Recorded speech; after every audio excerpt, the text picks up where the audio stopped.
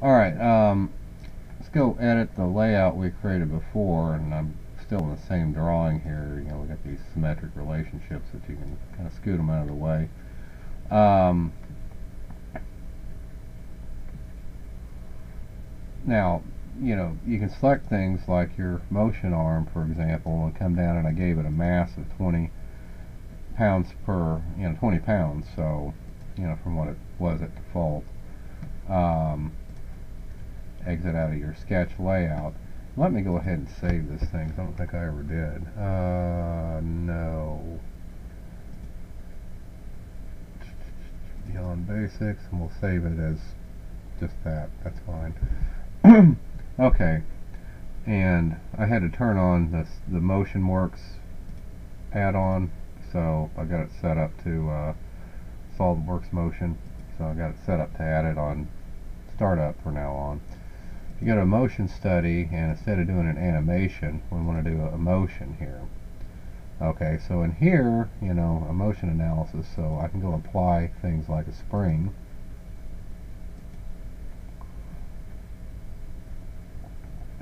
Alright and um, I want to put the K factor to 5 pounds per inch. Um, but you can choose different types of springs you know, from linear or, you know, what have you. Um,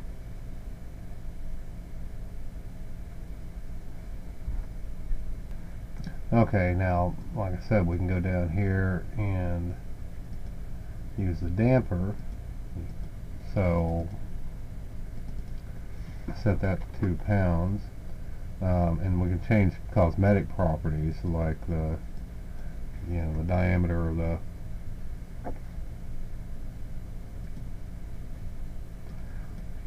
coil you know the diameter of the spring. So you know number of turns etc but they're really strictly cosmetic. Um, you know hit OK um, but again that's for cosmetic purposes so now, I'm going to drag this key point, you know, out to 8 seconds. okay, the length of the study we're going to do. Okay, now I'm going to go apply a force. I'm going to apply it to here. Now we need to reference it to something, so we'll reference it to the top plane. It establishes a direction for the vector. Um, he hadn't got to the action and reaction part yet. Um, but you know the force can be constant, step, harmonic, segments, data points, expression, or you can load an expre you know load an expression from a file. Still don't know what load references are, um, but load bearing faces you know would be appropriate. But since we're not dealing with solid geometry here, um, that doesn't make much sense. But go ahead and put five pounds, you know, for a force all right. Um,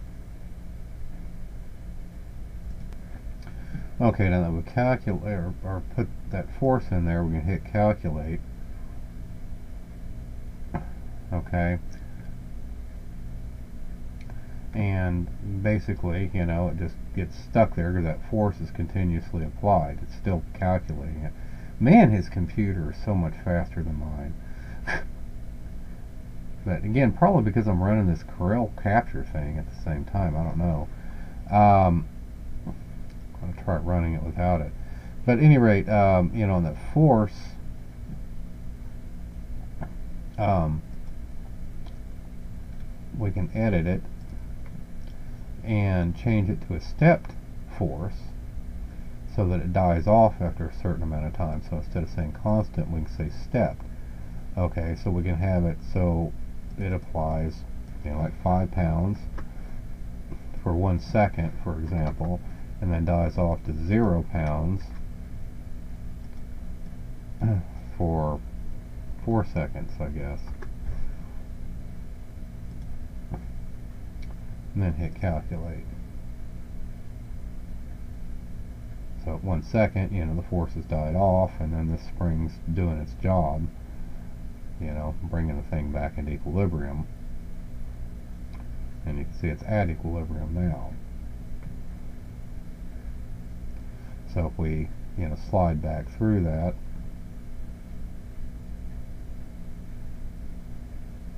uh, uh,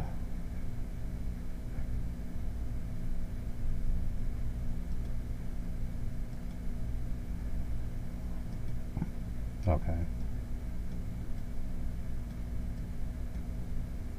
And I don't know if you can just step through this or not. I don't see a step command. Certainly doesn't slide. You know, it doesn't slide very interactively for some reason. But anyway, you can kind of see at the various points what it's what it's doing.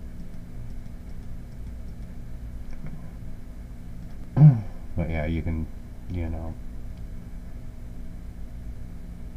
you know, I've got it set to loop and I'm just, you know, hit it in play mode, so.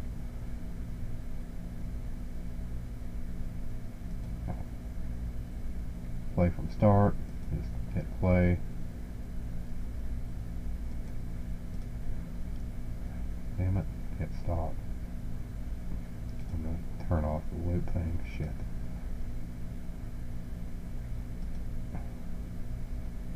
Hit normal. Okay. Okay, if you want to slide it, you know, you just grab this. You can't grab that bar, um, but yeah, you can, you know, kind of um, scrub through the animation motion here. Okay, you know, another really cool thing you do is you can go to the results and, and plots, so you can, you know, do a look at momentum, energy, and power, um, which may be a little screwy since we didn't put our center of mass. And again, if we're dealing with real parts, I think um, SolidWorks could actually figure all that shit out for us, but we're not dealing with parts, um, just sketches. Um, but let's, you know, look at displacement. Okay, um, in linear displacement and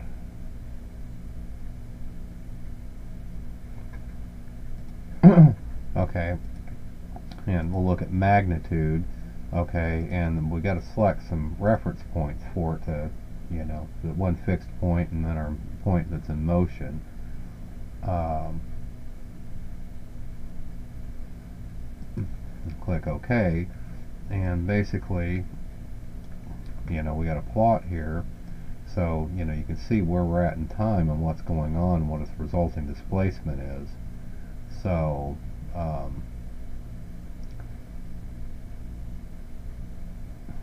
since I really wasn't paying attention when I created these parts, I mean, they don't really have any uh, defined length.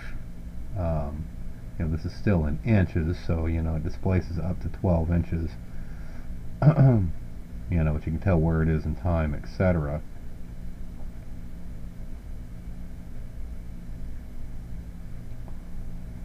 So it's pretty cool. I've altered a few of the spring properties, you know, um, down from what we had it. You know, I'll show you what I did. You know, th three pounds instead of five pound pound instead of being two ounce, two pounds of dampening. I took it down to half a pound.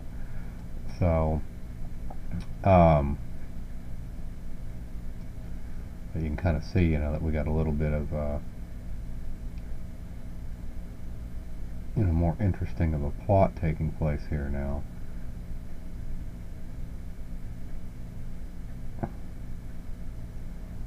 See. Yeah, I guess that's at the one second mark, so that's when our force is released right here. So, but you can see the, the spring, you know, actually having some kickback, you know, from the applied force even while it's applied, so it's fighting back. I found it very interesting because it's a five pound spring and they applied a five pound force and you know it's just straight up you know so it's not like a torque or anything but you know it's interesting you know how that you know the spring compressed you know but this was able to compress it fully you know to the limit of its range I suppose anyway it's pretty slick what this can do Still wish it plotted out the vectors and shit while it was doing that though. looks like you can export the data to um, you know as at least comma delimited uh, data you know raw data from this. Um, beyond basics that's a good place to put it. So anyway it's a program you could use like in C or sh some shit you know or a bunch of data you could use in C. I don't know if you can save the plots though. I mean that's uh, I'm not and covered that, you know, it looks like, let's see, results. Oh, okay, interesting. Time, linear displacement. I guess these are just the results from its calculations, probably not my little study. It does say plot, though.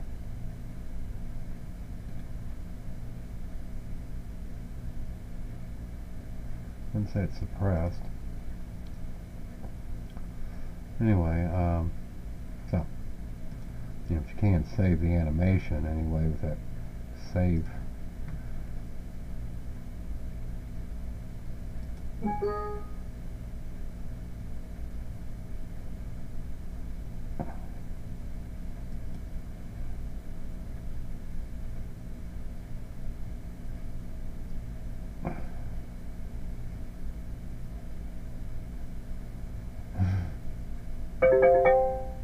Okay, good. Ready. Dinner's ready. And here's our resulting AVI file, so yeah, I just you know clicked on the save button there. Okay, it was pretty interesting turning on gravity. Um, show you what it did. uh, overwhelmed the shit out of the forces and everything else we applied to it. Um, and everything fell. I don't know what, what the hell happened to it all. Guess it fell, know, it's, uh, it just keeps right on falling. See? so, it applied it uh, to everything in the drawing here, including our little thing.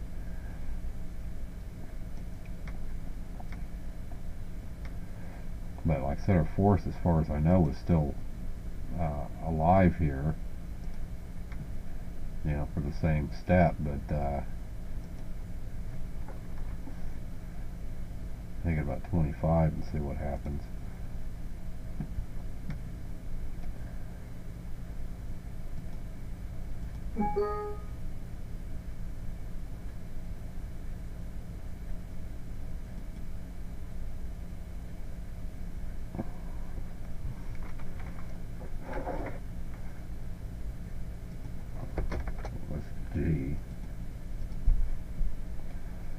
Okay.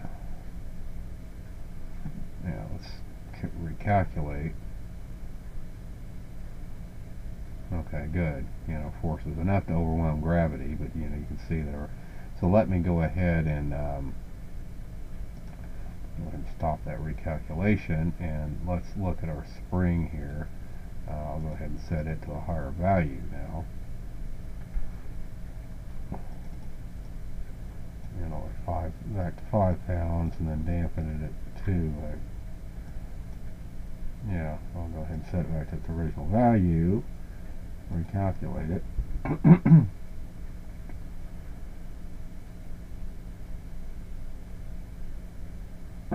so, pretty slick, except for everything falling, you know, uh, forever. You know, probably shouldn't have made that that long. Um, long of an animation. Let's see, where's the replay button? Okay, force is let off, and yeah, spring didn't dampen it very much, so, I mean, or dampened it quite a bit, actually. Um,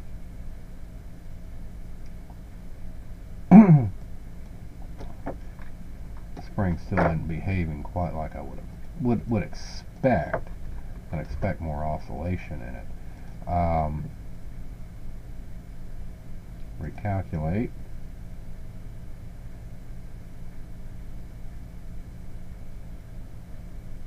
That looks good. Oh shit, I need to set this lower. Okay. Now let's do a plot. See what it looks like between this and this uh, for a displacement magnitude. Okay, so yeah, you can see the dampening, you know, the spring back effect take place, you know, the application of a force, which is at 20 pounds more than enough to keep it up against the force of gravity. And um, anyway, looks pretty cool. So, like I said, I still don't know how to save these friggin' things. But uh, anyway. Oh, fucking piece of